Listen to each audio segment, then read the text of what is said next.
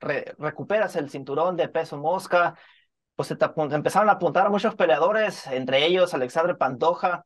Pues obviamente que nos platiques, ¿no? Un poco sobre ese listado que se te va a venir y que muchos del top 5, del top 10 de, de, la división, pues se te van a empezar a sumar para enfrentarte.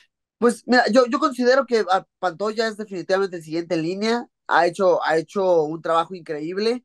Ha, ha, llevado las victorias y creo que es el que se perfila primero. Al final yo no escojo, pero si me preguntan a mí, yo siento que él es el que sigue, o sea, creo que él es el que merece ser el siguiente por el campeonato. Y como tú lo mencionas, pues sí, viene una, una, una filita de contendientes que también lo, han estado bien, que los entiendo también un poquito, porque a lo mejor están un poquito, pues, emocionados, un poco desesperados, porque mientras pasó toda esta rivalidad, eh, Davison Figueredo, Brandon Moreno, pues ellos iban ganando peleas, iban eh, posicionándose dentro de la división, y pues entiendo que a lo mejor sienten que, que ya es hora de que, de que ellos sigan por el título.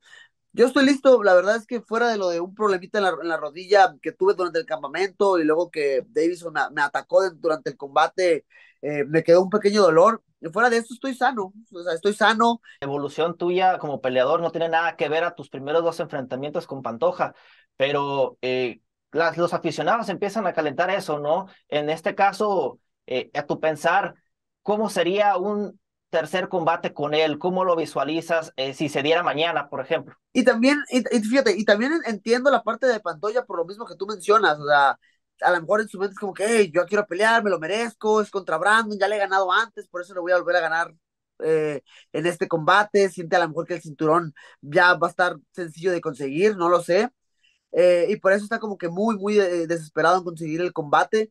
La última, la última vez que peleamos fue en 2018, o sea, después de esa última pelea, mi, mi vida cambió de una manera increíble.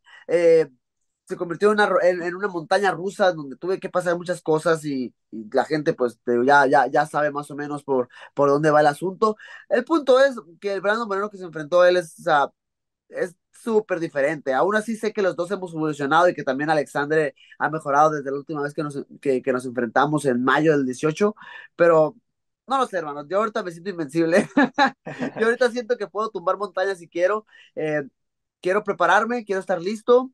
Eh, también puedo abiertamente decir y sin, y sin objetivo de poner excusas, pero en los momentos que David, que Alexander se, enfrentó a mí, nunca se enfrentó a la, a la mejor versión de Brandon Moreno en ese momento. Estoy bien confiado en eso porque sé lo que viví en esos, en esos momentos de mi vida. Entonces, pues nada, voy a estar listo. Simplemente te digo, quiero descansar un poquito mi cuerpo, mi mente, pero también quiero mantenerme activo, quiero pelear, así que voy a estar listo para el próximo reto.